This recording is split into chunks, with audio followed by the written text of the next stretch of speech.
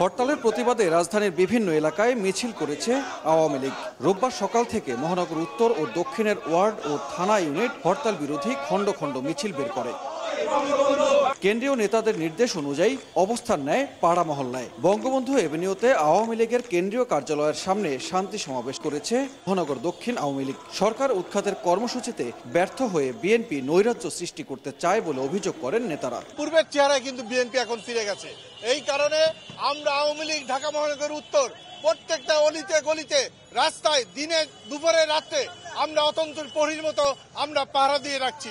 আন্দোলন চলবে গণতন্ত্রের আন্দোলন চলবে। গণতন্ত্র রক্ষা আন্দোলন চলবে।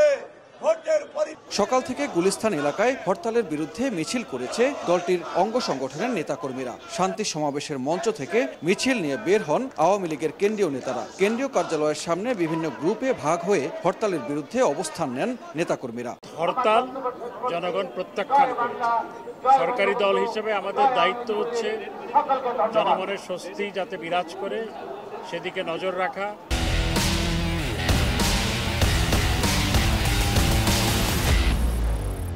এদিকে রাজধানীর ফার্মগেটে প্রতিবাদ সমাবেশ করেছে যুবলীগ। এ সময় সংগঠনটির চেয়ারম্যান বলেন, সহিংসতার মধ্য দিয়ে আবারও পুরনো চেহারায় ফিরেছে বিএনপি জামায়াত। তাদের প্রতিহত করার হুঁশিয়ারি দেন তারা।